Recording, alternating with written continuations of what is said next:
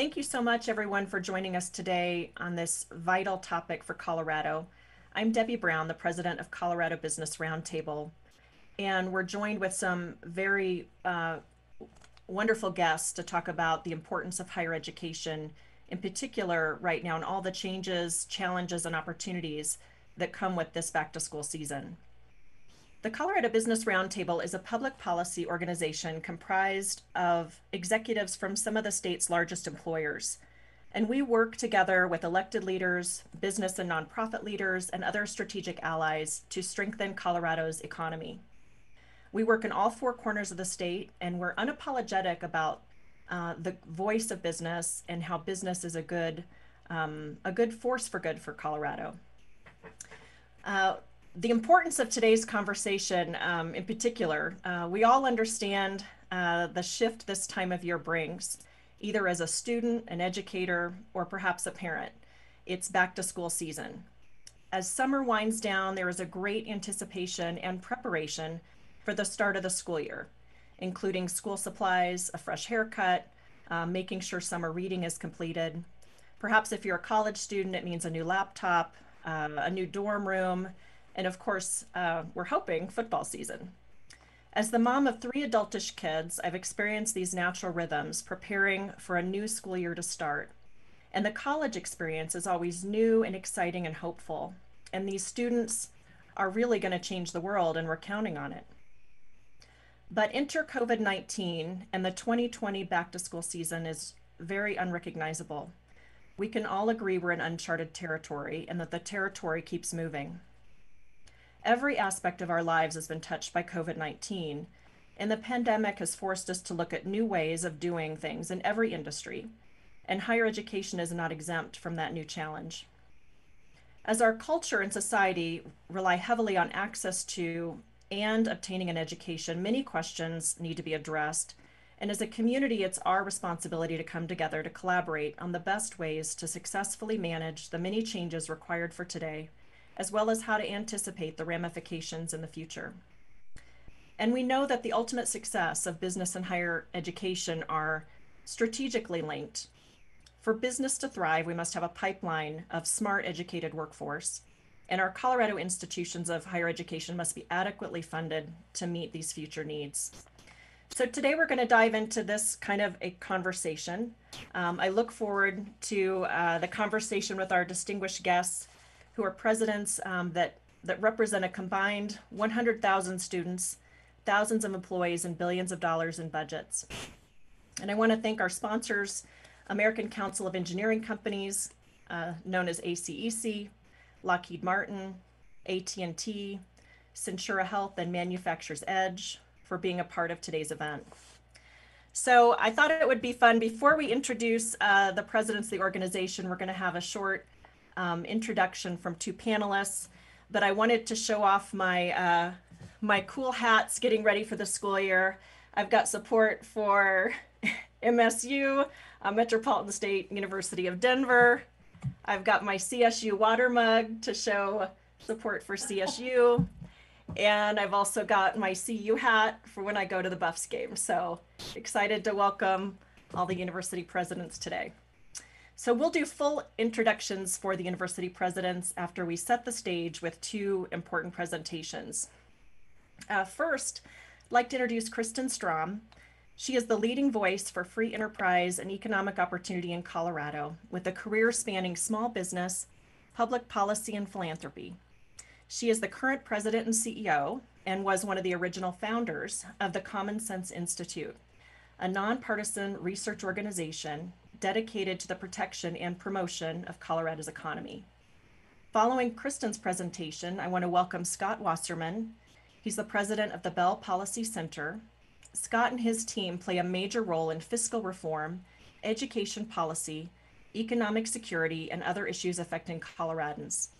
Since 2000, the Bell Policy Center has worked to advance economic mobility in Colorado. So welcome to this exciting conversation and I welcome folks attending. If you have questions towards the end, we're going to look to you to put them in that Q&A box in the Zoom webinar, and we're looking forward to a really candid conversation. So first, Kristin, take it away. Thanks so much, Debbie. And we have a fancy PowerPoint to start the day. Really appreciate Colorado Business Roundtable for hosting this important discussion today. I want to start off by saying something pretty profound. COVID stinks. It would be so much more fun to be in person with you all today. At Common Sense Institute, it's our mission to research and examine the big public policy issues facing our great state and their fiscal impacts on jobs and the economy. An important component of our state's economic success, as we all know, is a well functioning higher ed system that provides opportunity for all. And you can go to the next slide. Not every kid in our state should, or, oh, go, yeah, should or will go to college, but every person in this great state should have that option. It's a topic that's really near and dear to my heart, not just in my day job. I also serve on the board of trustees at my alma mater, Coe College in Iowa. Coe is a small liberal arts college whose mission is built around preparing students for fulfilling careers in a diverse, interconnected world.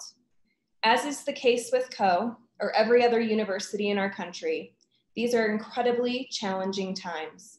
Our board meetings over the last couple of months at Coe have felt like a bad reality show. Bad news on top of bad news. In Colorado, the challenges are equally as fierce, but I want to start with some good news. Colorado is fortunate to have a diverse and effective blend of higher learning options. You'll hear from leaders of three institutions that are a vital part of Colorado's ecosystem later today. Good news for students. If you want to go to a vocational school or a four-year university, in Colorado, there are world-class options. But that's just the beginning of the conversation. Next slide. Today, Colorado ranks third in the nation in workforce needs, with 74% of all jobs requiring some form of post-secondary education. Unfortunately, right now, as many of the employers know on the call, having, we're having to import talent to meet our state's needs. To meet the workforce demands, that would mean we need an additional 6,200 Colorado K-12 graduates to obtain some form of post-secondary education. We need more Colorado high school graduates to attend college. We've got to do better. Next. Colorado has a rich and diverse economy. We all know it's an expensive place to live and raise a family. According to the US News and World Report, Colorado is now the eighth most expensive state to live in the nation, and earning a livable wage increasingly requires some form of post-secondary education. As seen on this chart, not only do three out of every four jobs in Colorado require some form of education beyond high school, but the tier one jobs, those defined as making over $25 an hour, require a bachelor's degree or beyond. Some examples of tier one jobs, nurse, electrician, marketing analyst. So now we know demand is clearly high. Let's talk about price. Next slide. Despite this growing need for education credentials beyond high school, the cost for Colorado residents to obtain a degree at a university or college is only getting more expensive. Tuition and fees have far outpaced inflation and most other consumer items. When you look at the cost of goods and services, higher ed is at the top of the list. Since 2002, tuition and fees for in-state students has grown over 240%. Inflation has grown just over 40%. Even items like housing and medical costs, which we all know have gone up, have not grown nearly as quickly as in-state tuition. Next. Costs have not uh, risen equally across all of Colorado's institutions. Over the last 20 years, University of Colorado Boulder has seen resident tuition and fees increase over 300%, and CSU falling just short of that.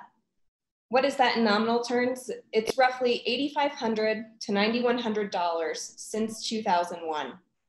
MSU has seen tuition and fees grow by less, but still over 200%, or $5,000 in nominal terms, much faster than inflation. So I think the question that everybody on the webinar today should be asking is, why has the cost of higher education for Colorado residents increased so dramatically? Next. Growing tuition and fees for Coloradans reflects two large realities. First, declining share of general fund contributions from our state budget, and second, an overall growth in costs. In 2019 alone, there was about a 400 million annual gap in general fund contributions towards student tuition and fees. That is, if the general fund would have kept pace with inflation since 2001. However, tuition and fees related to higher education have outpaced inflation growth.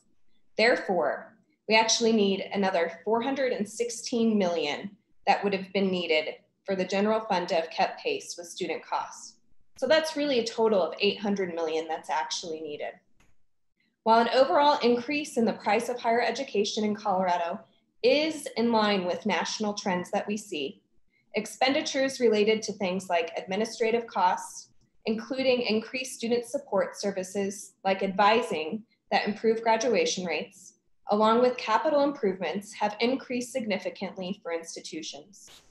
For example, CU Boulder has seen administrative costs grow by over $2,200 since 2010. CSU Globals actually buck this trend, and their administrative costs have fallen by $800. Next. So we know Colorado's workforce is requiring more and more individuals with post-secondary education. Unfortunately, the cost of receiving a degree is increasingly out of reach. The recession and significant reduction in state budget support will impact every school in our state. The possible decline in enrollment will impact more than others. In the short term, federal funding has helped to cover some of the shortfall, but that's a band-aid. Tough choices are ahead, but these are challenges that can be solved. As I noted earlier, it isn't all bad news out there. Colorado's blessed to be home to world-class institutions. That's our starting point. Students wanna be here, employers wanna recruit here.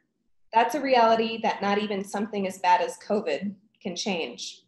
With a little innovation on the part of leaders at institutions and in government, with a little collaboration with leaders in industries, we can keep institutions thriving and affordable for students of our great state. I'd like to now turn it over to my good friend Scott Wasserman. CSI and the Bell might not always see eye to eye on the issues, but our dialogue is vital, and Scott's is an important voice in the debate. Scott? Uh, thanks so much, Kristin. I really uh, appreciated this opportunity to collaborate with you, and I, I appreciate uh, the Colorado Business Roundtable putting this together. Um, what I'll try to do very quickly is uh, just to provide, I guess, in the next three minutes, a little bit more context uh, for some of the costs uh, that Kristin just talked about in the higher education space and I'll, I'll just add that, you know, while Colorado is certainly a changing place, um, we recently wrapped up a, a, study on Colorado's middle class. And while we all look forward to changes in the workforce, there's certainly no question that higher education continues to be a driver of economic mobility. Uh, and that as you look across the economy, getting that degree or certificate is really key to people moving uh, up and through our economic system. So uh, next slide please. Um, so I just want to talk a little bit about, um, you know, the the the uh, cost shift uh, that has come from declining uh, general fund support for higher education. Um, I, I, really see higher education in this state as sort of the canary in the coal mine. Unlike a lot of other things in our budget, higher education is, I guess, the least protected from cuts when revenue declines. So what you're seeing here um, is essentially a flip uh, back in 2000, in-state tuition um, was, uh, you know, uh, families were expected to cover one third of the cost, and this chart is a little mislabeled. It should talk about the uh, share of costs, um, and then the state picked up two thirds. And what you can see here really is uh, a good representation of what we've seen in terms of state revenues over time.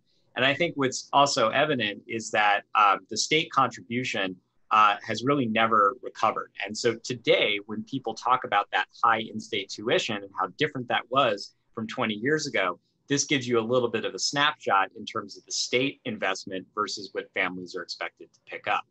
Uh, next slide, please.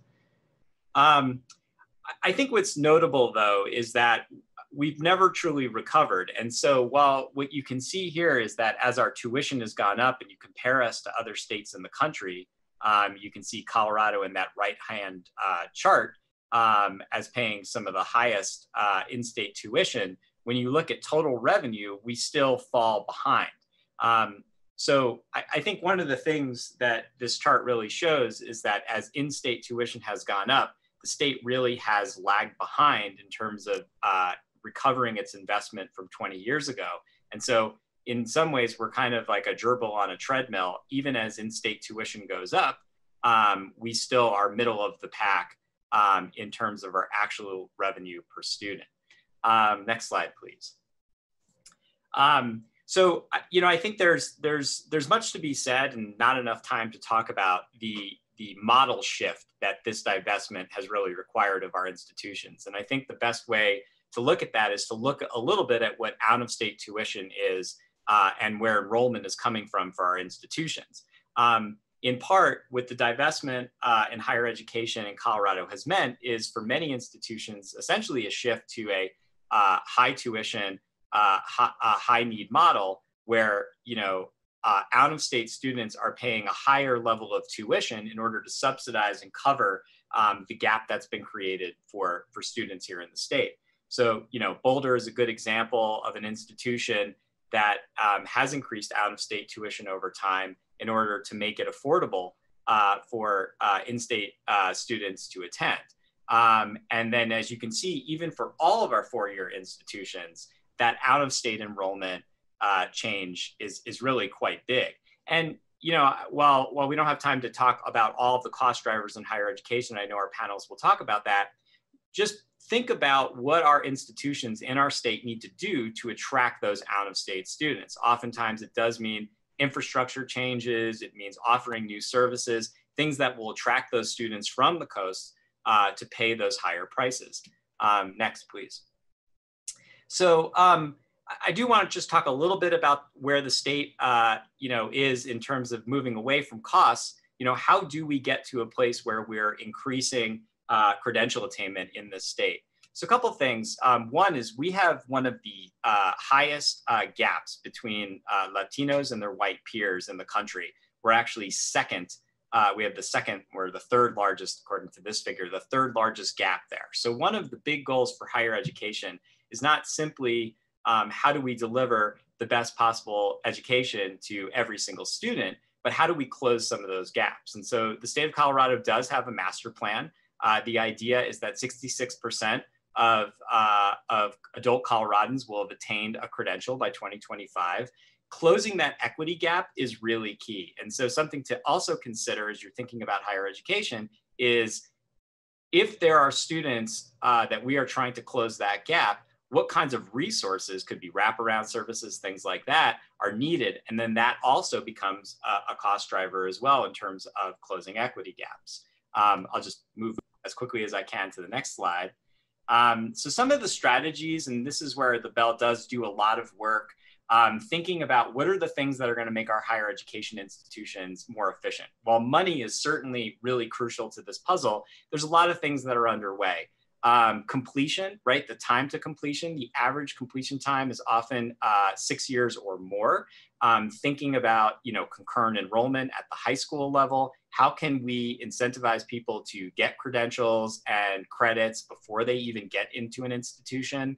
Um, what can we do to lower cost? Again, concurrent enrollment is that kind of thing where you can essentially earn credits for free. Of course, the state is picking up the tab, but that's going to help lower the overall cost of credits once they get there. And then really thinking about career pathways. Um, you know, I think that we we always want people thinking about what is the return on investment on a credential. Um, and so the more we can educate students about where particular credentials lead in the economy and in a career, the better off our students are going to be. Uh, in my mind, one of the worst things to imagine is going to college, paying your student loan, uh, accru- accruing all of that debt and then never actually getting the credential to be able to afford to pay for that debt. And so there's a number of experiments that I'm sure uh, our, our panelists will talk about that are underway to make time to completion more efficient and more effective for students. Um, last slide, please. Um, so, I mean, I, I, just in terms of COVID, I mean, a couple things to just quickly say, and then um, I'll, I'll hand it off to our, our convener. Um, there's no question, you know, we have cut 25% from the state budget in this uh, fiscal year. So the pattern of divesting from higher education does continue. And while the CARES Act did provide funding for higher education institutions, uh, Congress was very explicit in that those dollars cannot take the place of ongoing funding for institutions. They can really only be used in a one-time manner for for the acute uh, sort of you know ripple effects from the COVID uh, pandemic. Um, and I think that's notable from the past. Prior to the, in the Great Recession, Congress actually injected resources into the states and said quite explicitly that you have to use these institute uh, these dollars to cover ongoing costs. Um, and I also think that we have to think a little bit about the business model. If we've asked our institutions in this state, for instance, to shift more to an out-of-state, high high tuition, high aid model, um, but then students cannot come here to be physically present in the state. What kind of change does that mean, say, for the business model of our four-year institutions here in the state. Um, so I'm out of time. Uh, certainly a lot more context to provide. Um, but you know, I, I, did want to give you all a little bit of a context in terms of how public funding and public policy affect the cost drivers for higher education institutions. Great. Thank you so much, Scott and Kristin, for helping to set the stage. I mean, obviously, this is a big topic that it's hard to condense all the challenges in a short amount of time. So we want to go ahead and kick it off um, for some introductions for our panelists. And to do that, I want to introduce um, Dave Eddy for the purpose of that introduction. Uh, Dave Eddy has been with the Boeing Company for 30 years and is the Boeing Site Director for Colorado. While Dave's day job is to continue Colorado's thriving aerospace footprint, he is also passionate about educational opportunities, serving as the chair for Colorado Business Roundtable and also serving on the board of Colorado Succeeds. So welcome, Dave. Thank you, Debbie. Appreciate that. So first of all, I'm very grateful to have three presidents that are willing to have a conversation today. I'll thank them in advance and I will get into their bios real quickly. Uh, but first, I wanted to, to say a few words regarding the strategic importance of these higher education um, universities. Um, when we look across the talent pipeline, uh, clearly the state of Colorado, who is the number one aerospace state in the United States per capita, California's number one, but they've got 26 million people. So we like to think of ourselves as, as the number one state. Um, we really are looking to see these higher institutions uh, continue to produce the kind of talent that allows us to recruit and hire these individuals here in the state of Colorado uh, because most of them want to stay in the state. Um, even the ones that come from outside, uh, once they get to Colorado, it's such a great place to live that they would like to work in Colorado, and we understand that. Part of the solution, I think, is for us uh, along with all the other aerospace companies in the region, is to continue our collaboration and working closely with these institutions uh, to ensure that we're identifying the skill sets that we need, whether it's software, whether it's uh, uh business people, whether it's HR people, because we need the whole uh, gamut of, of talent. It's not just engineers.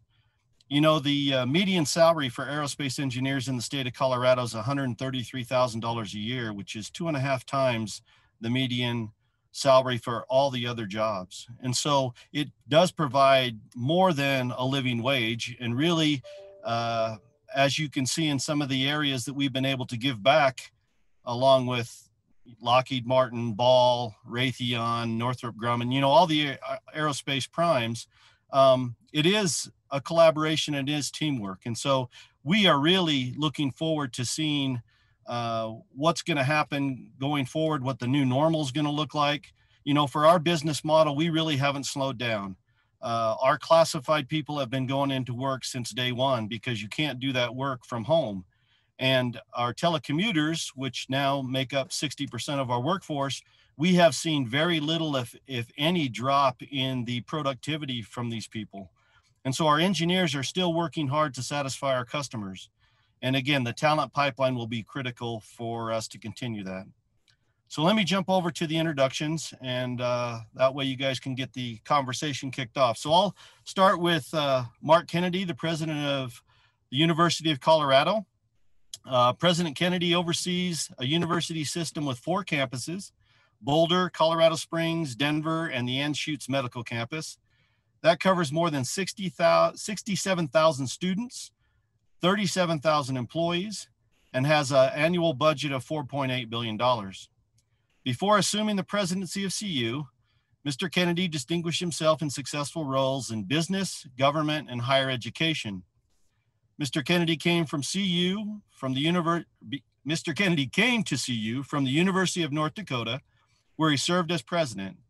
Before the University of North Dakota presidency, Mr. Kennedy served as the director of the Graduate School of Political Management at George Washington University. Prior to his roles in higher education, Mr. Kennedy served in the U.S. House of Representatives, representing districts in Minnesota, and had a highly successful career in the private sector.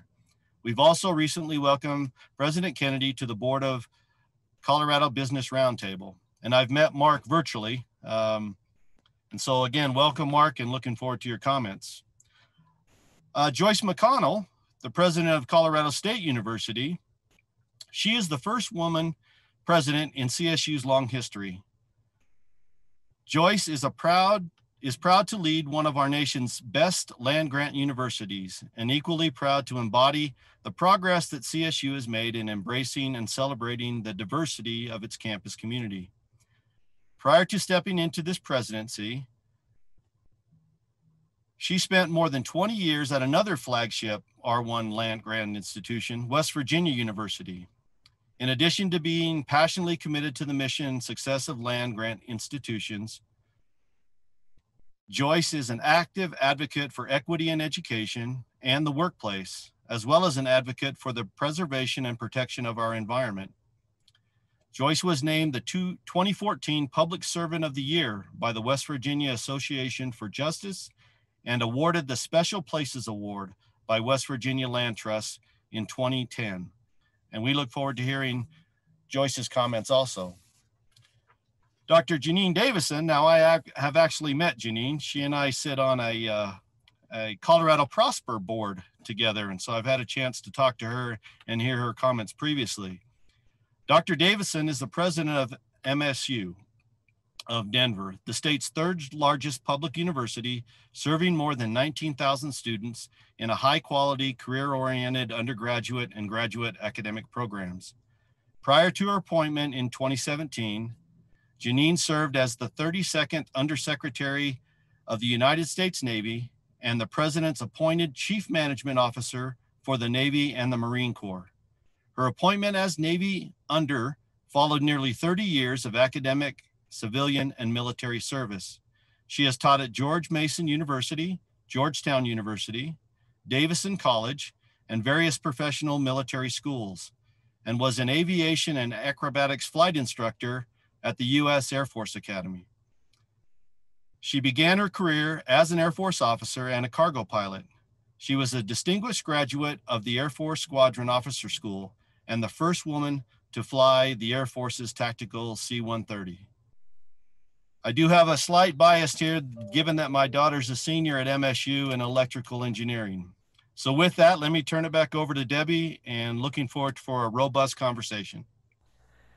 That's awesome, Dave. Good to good to have your bias explained. So we'll we'll see which hat you get to wear later. So finally, uh, the time we've been waited for, we, we're waiting for to hear from the university presidents and want to welcome all of you to the conversation. And we're going to frame this um, in two separate buckets. The first one we're going to start off is talking about challenges.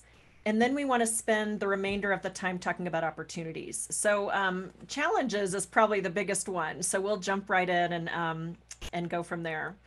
So um, let's see. Uh, I, I appreciate Dave's comments as we talk about what we're doing with Colorado Business Roundtable. You know, um, workforce issues are personal for many of us, but higher education is something that's important to all of us.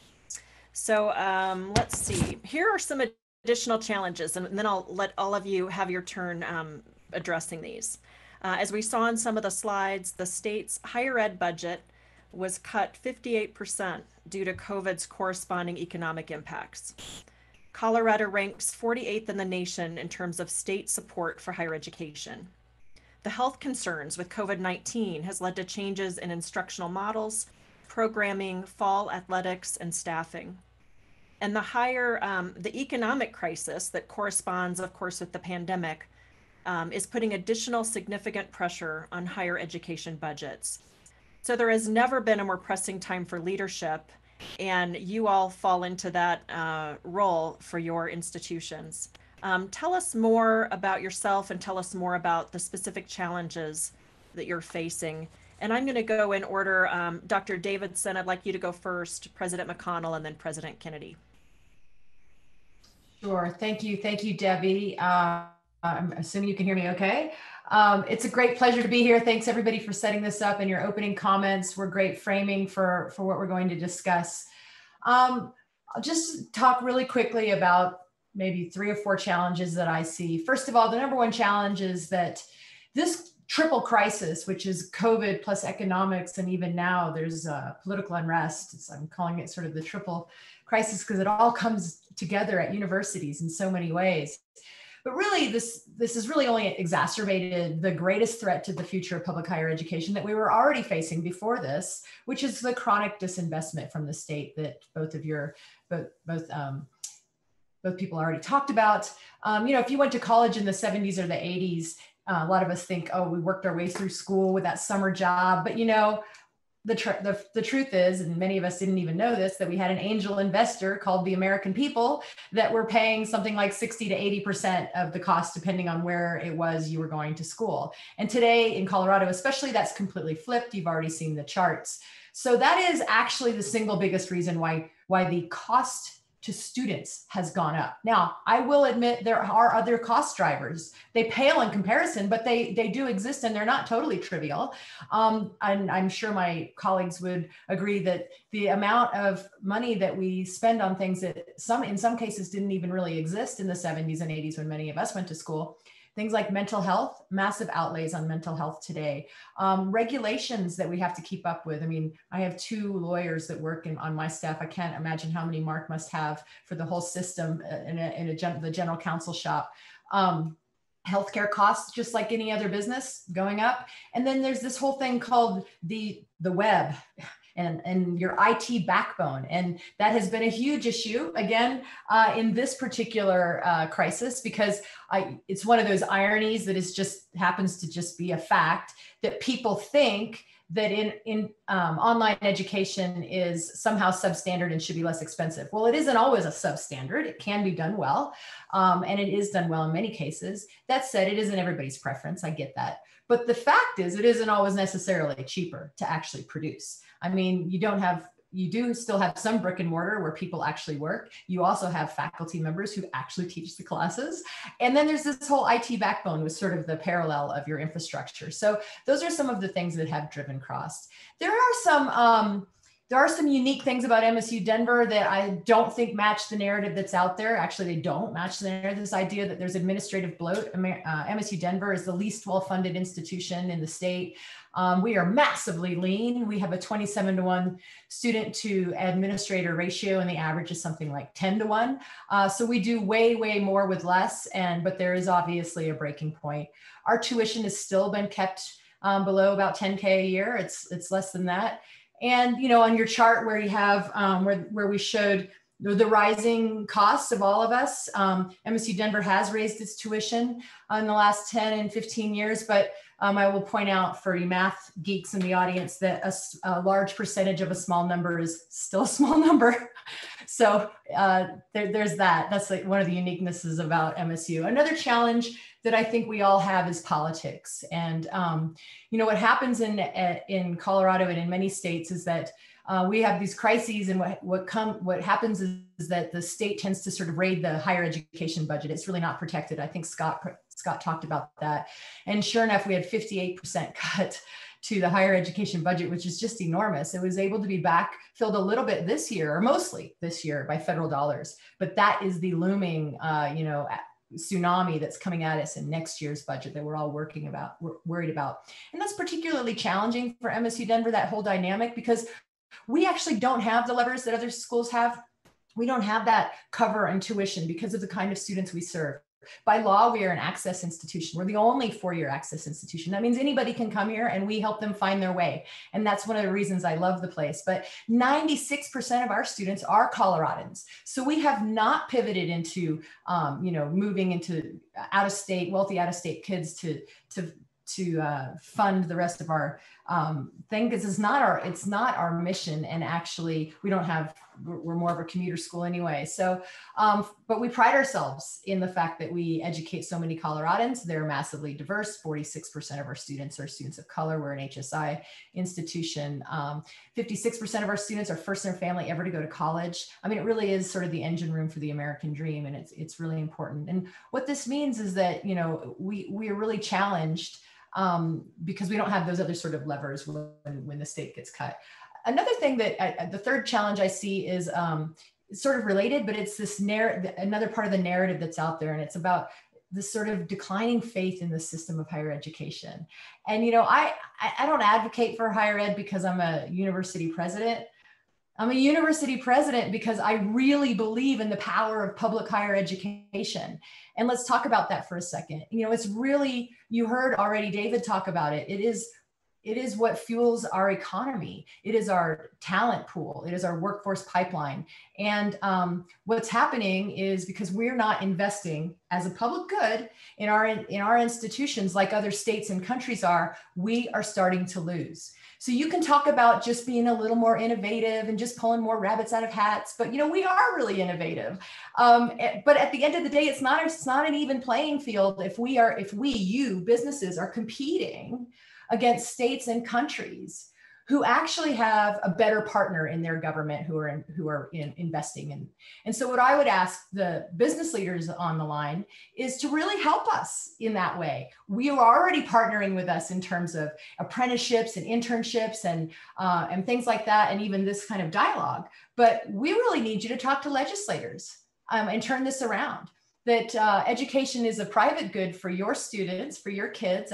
That's true. But it's a public good when it comes to the fact that we need to build our workforce and be competitive as a state.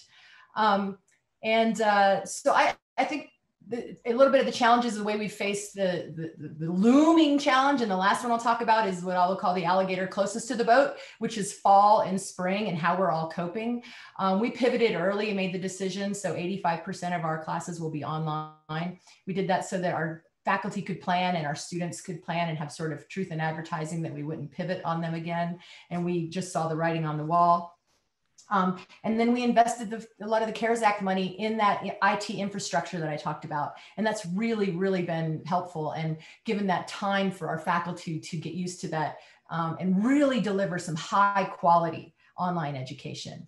Um, and so we're, we're working on that and we have um, been working with our, area partners to put some safety pr protocols in place. I feel pretty confident about um, the, the few classes that we will have in person that they will be safe.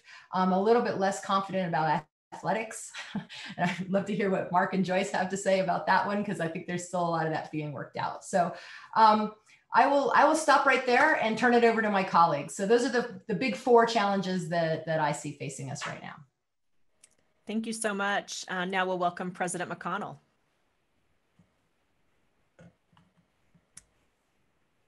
There, I unmuted myself. Uh, thank you very much for this opportunity. Um, it is really wonderful to be here and I'm really uh, deeply proud of the Colorado Business Roundtable for doing this and for reaching out to higher education. I do uh, believe very deeply in the partnership between higher education and business. And um, I think um, Dr. Davidson has done a wonderful job of laying out many of the challenges we face. I do want to uh, really, um, I want to talk about the shift over the last 50 years from higher education being a public good to it being a private good. Um, and I also want to talk about the uh, way in which this not only impacts the students and puts a burden on the families in terms of what they're paying in tuition and costs. I also want to talk a bit about the pulling back, not just from state government, but federal government in terms of its investment in higher education. And then I want to talk about the fact that um, Colorado's land grant university actually has a triple mission, which is education, research, and engagement. Um, and I want to talk a bit about that because the decline in revenue from the state not only impacts the tuition of our students, but it also impacts our ability to be able to deliver the services to the state that are expected from a land grant university. Um, and that's particularly important, I think, during this COVID um, 19 challenge that we're struggling with. And then finally, I also want to talk about all of the new ways in which we invest in our students so that we're opening our doors to more and more students, not just to be accessible, but to be successful. And the way that that has also driven up costs in a way that we're proud of. Um, and so it deserves a, a greater explanation. And finally, I want to talk about the, the business of higher education and its contribution to the economy. Um, so, uh, and let me start with the last point. Um, the Northern Colorado schools got together and did a study, um, hired an independent consultant to do a study on, of the economic impact of higher education in Northern Colorado. We found uh, out among the community colleges and the four-year schools that we're actually annually contributing $3.9 billion to the Northern Colorado economy. And why do I think that's so important? I think it's important because as the business community rec recognizes, we are a business. And just like um, uh, David Eddy said that we they were operating from the moment that COVID hit the United States, our institutions of higher education have also continued to operate and have made a really deep commitment to trying to retain not only our students and to educate them the best we possibly can, but retain our employees so that we're not damaging the economy further.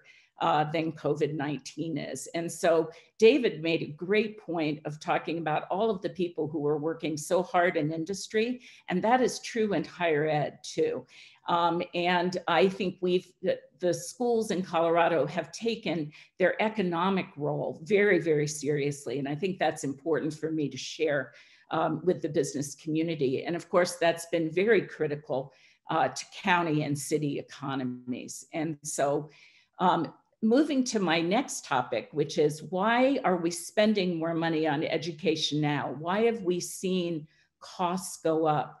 And Dr. Davidson did, did, such a great job of talking about that. And I want to narrow it down a little bit because I know every president on this call feels deeply about this, is that a lot of the money that's being invested in higher education is because we want to remain as accessible as possible. And not only do we want to remain accessible to the largest number of people, particularly our Coloradoans, but we also want our students to be successful.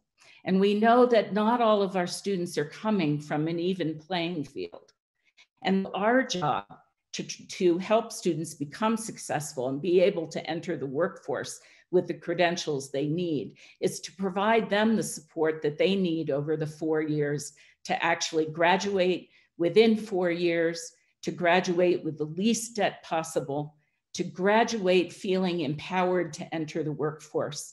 And those are all of those things, whether it's advising or additional academic support or mental health interventions, the use of technology to support different kinds of accommodation for different learners, all of that have, have escalated the cost overall of higher education. But it's not just because we want to trim the Christmas tree in higher education. It's because we're really doing it with a sense of purpose um, for our students, really feeling compelled to lift them up um, into the workforce. And so it's so important, I think, that we talk about that and talk about all of the efforts that are being made um, at both community colleges and our four-year colleges. And then I want to talk about what it means to be a land grant university because not everyone understands that. And I'm not going to go back to talk about its roots, but rather talk about what its mission is currently. And that is we, the land grant institution is charged with being accessible, to, to Coloradoans, and 70% of our students are from Colorado, and 30% of our students are first generation students from Colorado. We also have a commitment and a responsibility to the state around what we refer to as engagement and also extension. So we actually have employees in all in 63 of the 64 counties and serve all 64 counties in Colorado with services, whether those services are 4-H youth um, education, uh, adult education in critical areas like food and nutrition, or community development directly delivered within communities through our engagement offices. And that's really important for the citizens of Colorado to understand that our mission is not just education within the campus, but it's education throughout the state of Colorado delivered for free to residents of Colorado through engagement and extension. And finally, we have an enormous research obligation and research enterprise. And the research that we do, we want directly to be in service of Colorado. And so, and I know you'll hear um, Mark Kennedy discuss this. Your research universities in Colorado have been working double time trying to produce the kind of research and, and application necessary to be able to test for COVID, to be able to deliver therapeutics for COVID, to understand the transmission of disease from animals to humans, and be able to stop that transmission. And so the research that's going on around COVID, but all of our state and global challenges on your research campuses really matter to the state and matter hugely to the economy of the state. Um, and so I wanted to lay that perspective because we tend um, to think about education as merely having an education responsibility. But for our universities, our responsibilities are enormous, and we take those responsibilities very seriously. And as the state continues to consider education a private rather than a public good, being able to deliver on those multiple responsibilities gets harder and harder and more challenging.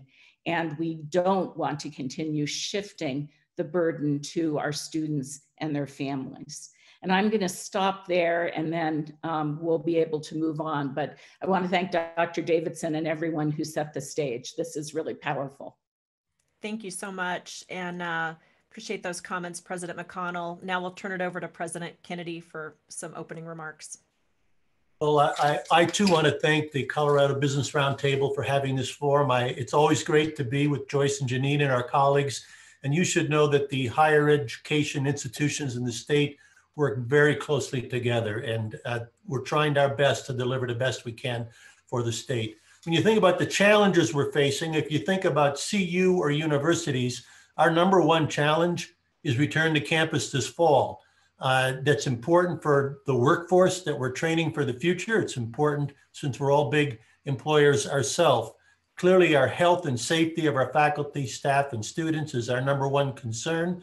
Uh, but we also want to deliver on our mission of continuing to advance people towards their educational goals to get the talent you need and for them to have the careers that they want to have. And this has required a lot of hard work on all of our faculty and staff and and a lot of investments to, to make sure that we're having safe campuses. So, so know that's our number one challenge. It's top of mind and, and we're focused on.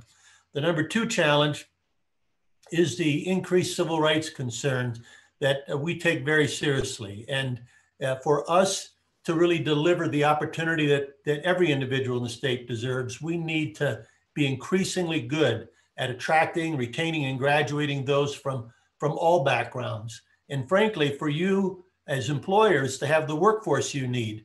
Uh, we're moving to a majority minority state. And so if we aren't really making sure that the opportunity of a college degree is available to all, we're not going to really have the talent that the state needs. So we're taking a lot of action steps forward on that. And, and it's again an important priority for us. The other thing is, uh, as somebody whose doctors uh, on our staff, on our faculty are, are taking a disproportionate share of the pandemic cases through the University of Colorado Hospital, are working on, on how we can get through this pandemic and solve it. Uh, that's clearly a key priority. And besides teaching remotely, uh, our faculty doctors have gone from just a handful of non uh, non psychiatric uh, remote sessions to thousands per day in, in the span uh, of less than a week. So they've pivoted, they've adjusted, they've worked hard to provide the care that the state increasingly needs in a pandemic. And the fourth thing that I think is challenging, Janine mentioned the IT and, and online but students, learners are changing the way they want to consume higher education uh, because it's being offered in, in many different forms. They're getting to understand it. We're getting better at all those forms. Uh, and it will also change the degrees they want. We're here remotely. The degree of technological advances that are happening during this pandemic are accelerating what was already a fast pace. So we need to change and adapt and prepare for more technical degrees moving forward and uh, be prepared to deliver the kind of education in the way people want. But a bigger concern is the challenges we face as a state. And I don't want you to get the message that woe is us, higher education, is woe is we, the state of Colorado, because we are taking a big risk as a state. A big risk because those states with the most college degrees win even those that don't have a college degree make more money the greater the percentage of college graduates there are in the state. But we are we are betting on two things: on out-of-state tuition to subsidize the excellence that you see at our universities. Just to put a, a to the point, uh, every in-state student at the University of Colorado Boulder gets subsidized by seven thousand dollars a year by the net effect of out of state students. And are those out of state students going to continue to come given that we're having a shrinking of the pool of people pursuing college and other states are going to keep theirs, given that the cost of real estate has gone up here in the state? That's a high risk that you can't count on lasting forever, given that online is sort of chipping away at, on, at uh, out of state premiums. The other thing is, as was mentioned earlier, uh, by I think Kristin, that we're importing other states' graduates. We're counting on other states to educate their college graduates and import it here. Again, real estate cost makes that uh, concern. College degrees are going to be needed for future jobs. Uh, Kristin mentioned that all of the tier one uh, uh jobs require college, a bachelor's or above. But McKinsey suggests that it's only those that are college and above that are going to be growing. Anything less is going to be shrinking and, and that should be a concern when, when less people are pursuing four-year degrees. The earning gap is getting uh, continuing to get bigger according to many projections. The return is very high. Can we make it better? Yes. You know, Scott mentioned career advice. We have a lot of people taking concurrent enrollment, but they still end up spending 120 credits to get a degree because they don't know what to do. Uh, Scott also mentioned uh, diversity and the, and the equity gap, the achievement gap. A big part about that is in a state that treats it as a private good, we need to have the investments, as Kristin said, in the advising, and it's hard to do that where, where we're at. David Eddy mentioned the technical degrees. It costs us almost twice as much to educate an, an engineer as opposed to somebody in the social sciences. And teaching engineering on five uh, places in the state uh, when you have it as a private good, there's less of an incentive for students because they're having to pay more to get that degree. And when we looked at, at what do we get from the state in funding and the state in in-state tuition, only Montana receives less total state funding in-state tuition than Boulder. And, and they're ranked 254, Boulder's 100. Uh, and they're not giving the billion dollars plus in research that we're delivering uh, in in space and and healthcare and and so many other things. So I, I would just implore uh, everybody on the call to understand that your future, the economic opportunities your kids are going to face, the opportunities that we face in the state, uh, depend on us treating higher education as a public good, not a private good. Thank you, President Kennedy. Um, just for the folks watching today, we're running a little bit long. I'm not sure that we'll get to the Q&A from the attendees, but if you do leave a question in there, I'm happy to get that answer for you from one of the university presidents or to get that data from you from the Bell Policy Center or uh, Common Sense Institute. So know that um, put your email in there. We'll make sure we get you a response if we're not able to do it on the on the um, time we have today.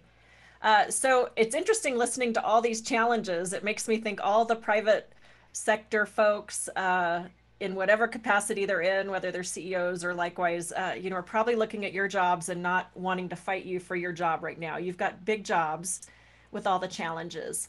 But I want to turn it quickly to opportunities. In a time of disruption, I think we're seeing every industry tackle disruption in a new way? You know what how do we utilize technology in a new way? How do we um, you know think about telehealth? You know there's so many positives that can come out of perhaps a disruptive time like we're having now. And so i'm just curious how are you what are you doing? And you, you might have addressed some of these in your in your original remarks but what are you doing um, to innovate collaborate collaborate and execute maybe in a new way, looking ahead to 2020 and kind of what, um, how to meet all the needs of your stakeholders, whether it's students or staff or educators or the stakeholders and taxpayers who pitch in, um, as I think the consensus is not enough to the higher ed. But but how are you innovating for the future? And um, I think we'll shake it up a little bit. Why don't we go in reverse order? Um, President Kennedy, um, and then President McConnell and Dr. Davidson. And if I could on this one, we're running a little short on time, you know, maybe two, three minutes is kind of your, kind of your future forward look. Uh, I, I would say number one, uh, we are hyper focused on diversity, equity, and inclusion. We are taking a lot of actions, and I think that you will see meaningful change out of CU and of all our campuses. Number two, uh, everybody's having to be more adaptable and resilient, and the innovation has never been at a higher pace in higher education. And I think you're going to be seeing dividends for that being paid in the future. And number three, uh, research. Uh, we spent a lot of time on research. We have a new saliva test that we hope gets validated by the state soon, which will, I think, be a, a big breakthrough. Uh, we've been advancing a lot of the therapeutics and, and the vaccines. Uh, we're, we're doing things in healthcare that I truly do believe will help lower the cost of healthcare in the future. So just know that that we are innovating, we are adapting, and, and our students having to adapt will make them stronger for the future uh, because that's what our, our future will hold for us. So I'll do that with a very short summary, but we're bullish a long term on CU and on what higher education can deliver for the state. Thank you. President McConnell.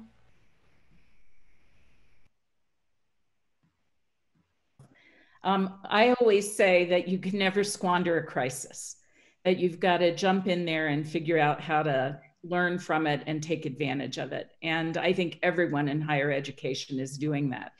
Um, I do agree with President Kennedy that one of the things that is top of mind for all of us are issues of equity, inclusion, and justice. And with the shift in the demographics in the state of Colorado, we have have to review period of time to look at what it is we're doing to serve students, how to attract a greater number of students into the university, and how to get them six, through four years with a degree and into the workforce contributing to Colorado. Um, that's first and foremost. I, I, think the equity issues are really um, extraordinarily important right now. I also agree on the research side. The major research universities in the state are really global leaders in terms of the kind of research that's going on, whether it's vaccines um, and uh, even sanitation techniques, engineering. Um, all of the disciplines have really poured in and tried to say, how do we use our expertise to get through this crisis? What kind of research and applied research can we do that will make a difference most quickly? And so that's really, if you want to look at the opportunity, this opportunity has really catalyzed innovation on the research side and the rapidity with which research is done. And I think that that's really extraordinarily important. And finally, I think that one of the opportunities this has given us is to say, we're going to have to have a new business model. What's the business model going to be? Um, because the one that we, we used to adapt to the crisis in 2008 may not be the business model that allows us to adapt now, particularly if the economic downturn lasts uh, quite a long time. Um, and so thinking about how to shift the, the economic model um, working with the state to do that. I, one of the things that um, Mark Kennedy said that I think is so very important for people to realize is as proud as we are about Colorado, we're at risk, the entire state, if we don't start making wiser investments um, in education. And I, Mark put it so well, it's not woe is us in higher education. We really fear for the state and fear for its residents. And we want to play a role, and this is an opportunity to really to sound that alarm and then pull everyone in to work together to really make Colorado as great as we know it is. Great, Dr. Davidson. Thank you. Thanks, um, Debbie. Thanks for the shout out for how hard our jobs are. I am reminded of my colleague, my former Pentagon colleague, Admiral Bill McRaven, who was the head of all like Navy SEALs and special operations. And then he went to go be a college president. And when he retired, he said it was the hardest job in the world. And I thought, compared to what he did before, that's a pretty big statement. But then he also said that it's the most rewarding, which it is. Yeah, so I think fighter pilot sounds kind of hard too. So yeah. yeah. So uh, anyway, um, yes, it's a hard job, but um, yes, we are innovating. We're always innovating. We're always assessing. Um, this particular crisis, just what Joyce said, don't let a crisis go to waste. But we we immediately set up what I called the futures team to sort of pause our strategic planning process and say, are were all the assumptions that we made, you know, six months ago, what are they going to be like 18 months from now? And that nobody has a crystal ball, but there are some trends and um, there's an art to this, looking into the future and making and placing some bets. So we're doing exactly uh, what Mark was talking about. And we're thinking about what will students of the future really care about? And we're already seeing that. Um, how will they want to uh, consume online education? Or I think there will be some I think we're going to see a separation. I think some people are going to really want that traditional, you know, cloistered, um, elite, um, you know, experience. But that will not be something that will either be realistic or preferable for so many others and we will be there for them stackable um, credentials and certificates online options flexible pathways meeting students where they are instead of trying to cram them into this ridiculous four-year model that doesn't work for the vast majority of working students. Some of those things we were already thinking about before. And then of course, making the experience something that um, uh, real students can uh, feel welcome with diversity, equity, and inclusion issues that will be even more important than they already were at MSU Denver. Um, this builds on traditions of innovation at our university. You know, we've already thinking about our public-private partnership that we had with um, with our we have a hotel on campus that we own but is partnered and our students kind of work there. And um, some of the proceeds go to scholarships and to help the program. We'd like to do a lot more of those sorts of things with businesses.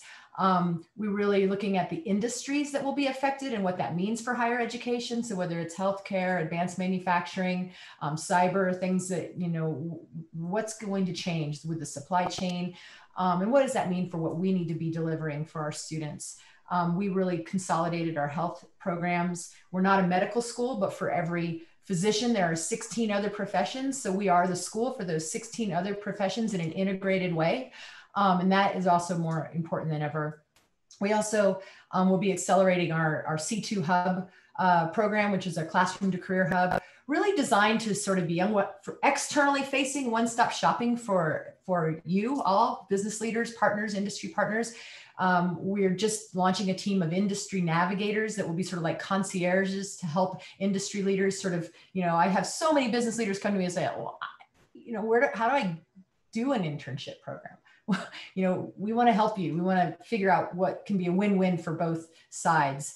Um, and I think that that's really, really important. And so um, in that, you know, the ways that you can contribute to that innovation is by partnering with us by giving your by innovating on your side as well giving your your employees flexible schedules and tuition assistance um, making philanthropic donations of course um, and working with us to sort of craft you know 21st century models like what we do with um, Lockheed Martin, uh, where we have a co-op program.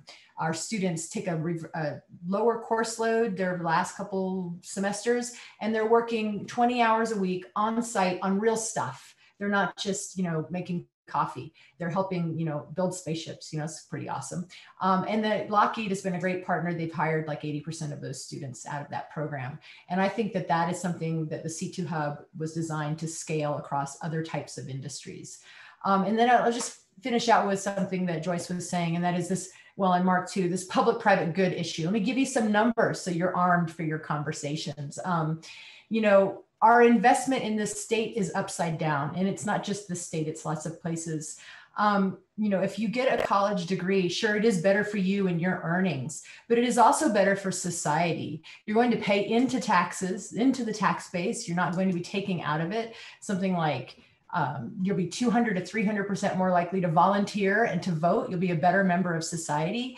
And you're you know 490% according to the Lumina Foundation less likely to go to jail and I always say that's not trivial, okay? Because we spend 10 times more per prisoner than we do per student in the state of Colorado. So let's talk about an upside down investment and let's turn that around together. Thanks. Thank you, um, Dr. Davidson and President Kennedy and um, President McConnell for your comments today. Um, we are going to just handle, if you've put in a question on the um, chat feature, we're going to handle that separately and apologize that we ran out of time. Um, thank you to Kristin Strohm and to Scott Wasserman for helping to set the stage. Um, a couple things that I have takeaways as I as I see lots of folks on the webinar from the private sector, um, the concept of the public good versus private good. I think that's something we need to know more about. I think the issue of importing talent is something that is um, probably very um, much on the minds of folks who do the hiring here in Colorado. It's probably nothing new, and they might want to get engaged on how do we grow more talent uh, here in Colorado. And also um, want to really thank uh, these leaders for their leadership. I suspect uh, rather than flying a fighter jet, this is a lot more complicated. There's a lot more parts to running um, a higher ed institution and all the challenges that you all face um, and opportunities right now. But one of the things we say, just to kind of sum it up, it struck me um, with the Colorado Business Roundtable. One of the reasons that we're so passionate about business in Colorado is it's actually not really about business, it's actually about people. And I would say that's probably the one takeaway I got the most from all of you is it's not actually about uh, your institutions, your brick and mortar, um, you know, the budgets. It's actually about the people that you're serving, not only your staff, but the lives that you're changing through the education system. And I can attest to that myself. Um, my mother received her college degree before she had an indoor toilet in her home. In fact, her brother received his college degree before they had an indoor toilet. So, education really changed the trajectory of my life through what my parents were able to do in, in securing that higher education that just changed their lives. So, for me personally, I'm very passionate about higher education. I want to do what we can as partners with Colorado Business Roundtable to come alongside you with our businesses and our support to know that we want to do whatever we can to continue conversations like this, particularly in terms of funding and the support that you need to help change people's lives for the better. So uh, with that, if either if anybody wants to, if any of the presidents want to say one final remark, we'll kind of close up. I'm sorry that the time went so quickly. Um, but we'll kind of go back in reverse order. Dr. Davidson and then President McConnell and President Kennedy. Any, any final words of wisdom for us today? Sure. I, I will say, I'll say one thing. Um, we, we're talking about this partnership. That's what's so great about the Colorado Business Roundtable um, being part of this and bringing in some of the business leaders because they do always ask me, you know, what can we do to help? And I, I laid out a couple things. And so I want to lead with that, you know, flexible schedule, working with your students, working with the with the universities. Those are some of the obvious things, but I think this issue of a public good versus a private good is a very important thing. And um, I think that, you know, the business leaders talking to legislators and saying, listen, the state of Colorado is the weak leg in this stool that we have that holds up our economy and our society. You know, the higher ed is doing everything it can, the business community is doing everything it can, but we're not playing fair against our competitors unless we get the government as part of that partnership, the society as part of that partnership. And, and it, this is not a socialist thing. This is about competition. And that's why the business leaders are the ones that have to be the advocates because, um, you know, we're, we're going to do it all we can. And it's in it. And whether I say it's not, you know, I'm not doing it just because I'm a college president. I'm a college president because I believe that this is important for our society. Great, thank you. I think this will be the first of many conversations that we all have with the business community and how we can loop in legislators perhaps in the next conversation. Uh, President McConnell, any final remarks? Well, I think that we are really, uh, this opportunity is really phenomenal for the institutions of higher education and the business community because it is the, the time where we can really join together. And we can not just talk to one another, but talk to our legislators and our governors and our representatives in Congress, our senators, and make sure that we've got everyone speaking the same voice, which is that we highly value higher education in Colorado and that we are going to work together to move ourselves into a position that is a competitive position, not just because we want to feed higher education itself, but because we want to have Colorado be the best it can be. It, we want the best community, we want the best educated workforce, we want the best society, we want the best citizen participation, and we want the strongest businesses, the strongest research, the strongest medical care. And all of that depends on the health of our universities and the shift from a private good to a public good. Thank you. President Kennedy for the last word. I'll just say that uh, the world is the world is going more digital, and that means that uh, online is going to get bigger and better and we need to be good at not we'll be having a less of a distinction between on campus and online. It's really delivering both to the same people in the right mix that they want it that we are going to get better at as part of the innovation you're seeing going on. But also that digital means the workforce we need is going to be more technical. We need to be delivering more engineers more technical uh, professionals. And in order for us to do that we need to have greater partnerships. As the number one publicly funded NASA University, we want to partner even more strongly with our aerospace industry. As the number one medical center in the region, we want to partner more strongly to deliver that. But we should talk as a business community, as academia, to talk about what can we do to make sure that those higher cost degrees are being delivered in this state uh, with the funding we have or with new funding that we can do. And I look forward to a, a, richer, deeper conversation with the business community, along with my colleagues from higher education in the weeks, months, and years ahead.